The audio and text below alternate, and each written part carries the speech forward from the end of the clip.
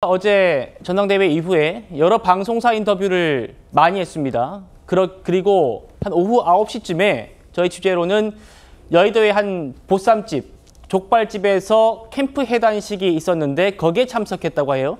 10시 반 정도에 나갔다고 하니까 1시간 반 정도 머물렀다고 하는데 조영재 변호사님 네네. 여기서 재밌는 얘기가 있어요.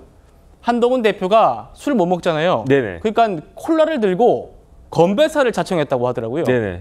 그 굉장히 기분이 좋았던 것 같아요. 예. 조금 전에 봤지만 지지자들의 연호가 있지 않았습니까? 아니, 누가 내 이름을 저렇게 열광적으로 이렇게 화- 그 불러주면 저 같아도 기분이 굉장히 좋지 않았을까. 더군다나 어제 결과로 인해 가지고 승리를 했는데 그것도 보통 승리였습니까? 기대하지 못했던 한동훈 후보가 저 정도까지 그 이길 수 있을 거라고 스스로 기대했는지 모르겠지만 많은 사람들이 생각한 것을 훨씬 뛰어넘는 그런 대승이지 않았습니까? 그러니까 제가 봤을 때 기분이 업됐을 것 같고요. 그러니까 건배사 할 때 두 가지 이야기했을 것 같아요. 네. 첫 번째는 감사하다. 내가 오늘 이겼는데 이거는 내 혼자의 힘으로 한 게 아니고 우리 팀이 많은 사람들이 도와준 덕분이다. 이런 이야기 당연히 했을 것 같고 더 중요한 거는 각오를 이야기했을 것 같아요. 윤석열 정부가 반드시 성공할 수 있도록 여당 대표로서 최선을 다하겠다. 그런데 윤석열 정부의 성공이라고 한 건 무엇이겠습니까? 결국은 정권 재창출이라는 이야기죠. 정권 재창출을 위해서 모든 온 진력을 다하겠다. 이런 그 건배사를 했을 것 같고요. 듣는 사람들도 매우 기분이 좋았을 것 같다는 생각이 듭니다. 그렇군요. 조기현 부위원장님.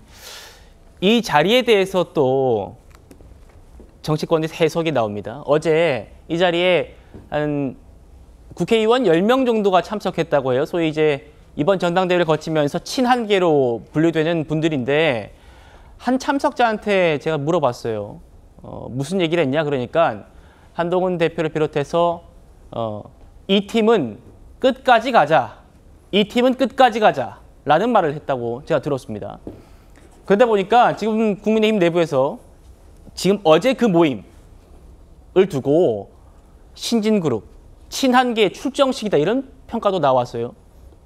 그렇게 보이네요. 그러니까 그렇게 보입니까? 예, 그 참석자가 얘기했다는 끝까지 함께 가자가 어떤 의미겠습니까? 차기 권력으로서 차기 대선까지 보는 가운데 어, 확실하게 친한 그룹의 출범식의 자리 의미를 서로 거기에 참석한 사람들은 공감했다고 보여지는 거죠. 사실 한동훈 대표가 지금 돌아보면 실제 정치를 시작한 지 불과 10개월이 채안 됩니다. 그리고 지금까지는 윤석열의 황태자라는 꼬리표가 있었고 결국에 검사 시절 그리고 대통령 윤정부 이 정부 출범 초기에는 대통령과 법무부 장관 그리고 지난 총선에는 대통령이 사실상 보낸 비대위원장으로 임명을 했지만 자신이 결정하고 자신이 선택을 받은 정치의 행보가 아니었습니다. 지금까지는. 그런데 어쨌든 그런 걸 자산 삼아서 결국에 압도적 지지를 통해서 지금 여당의 대표가 된 겁니다. 그런데 당내의 어떤 세력 기반이 취약한 것도 분명한 사실이죠.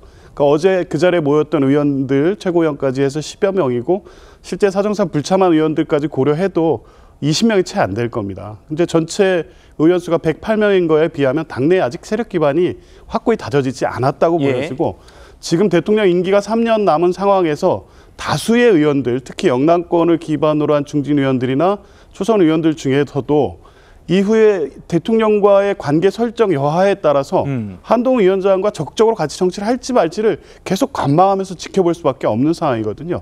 이런 상황이라면 결국 정치적 뜻을 같이 하고 한동훈 대표와 차기 대권까지 가는 이 행보를 같이 할 정치인들이 얼마만큼 지금 형성이 돼서 같이 더 이 세례를 확대할 수 있느냐 가장 중요한 문제였다고 보면 이번 이 전당대회에서 그 기반을 마련한 것이고 이 이분들이 중심이 돼서 이제 끝까지 가자. 이런 결, 결의를 하고 결단을 하고 사실상 이분들을 중심으로 해서 어, 대선까지 가겠다 이런 부분들을 뭐 직접 언급은 하, 하지는 않았지만 서로 예. 교감하고 공감하는 자리였던 것으로 보입니다. 그렇군요.